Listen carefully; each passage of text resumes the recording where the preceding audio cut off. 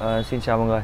Hôm nay Ngọc Hải Shop ờ, xin tiếp tục giới thiệu với ờ, mọi người bộ sản phẩm dao chặt mang thương hiệu Seki. Một thương hiệu quá nổi tiếng ở thị trường Việt Nam và trên toàn thế giới. Nó được rất nhiều các đầu bếp hoặc gia đình sử dụng bộ dụng cụ nhà bếp rất là nhiều. Đấy, hôm nay thì sản đầu tiên đang giới thiệu với mọi người đó là bộ dao chặt mang thương hiệu Seki Japan.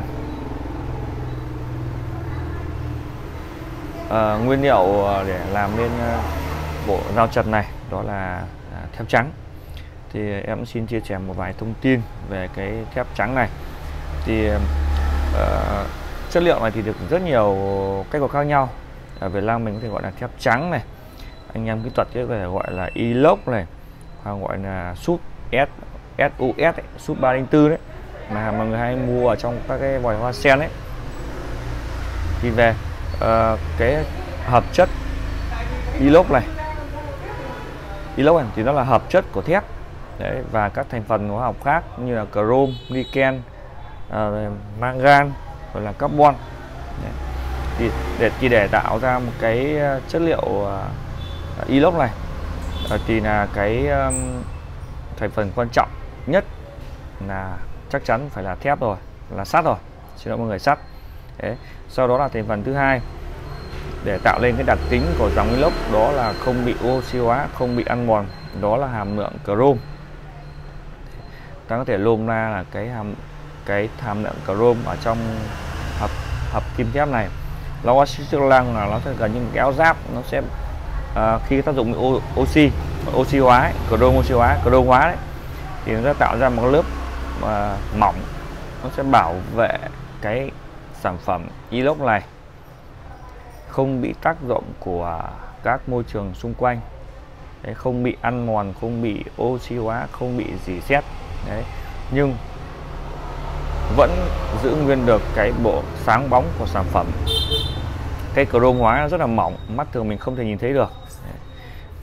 Nôm na mình hiểu đó là mình bảo nó bảo vệ cho con dao của mình.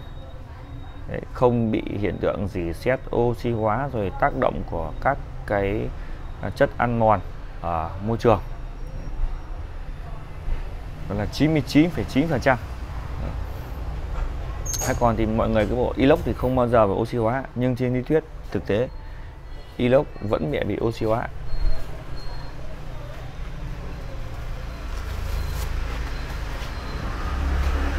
Ok à, mình sẽ đi vào chi tiết uh, kích thước của em à, uh, dao chặt này.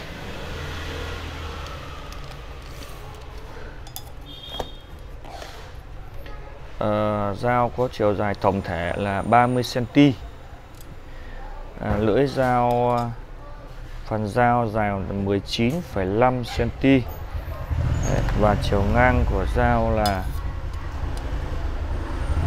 9,9 cm độ dày.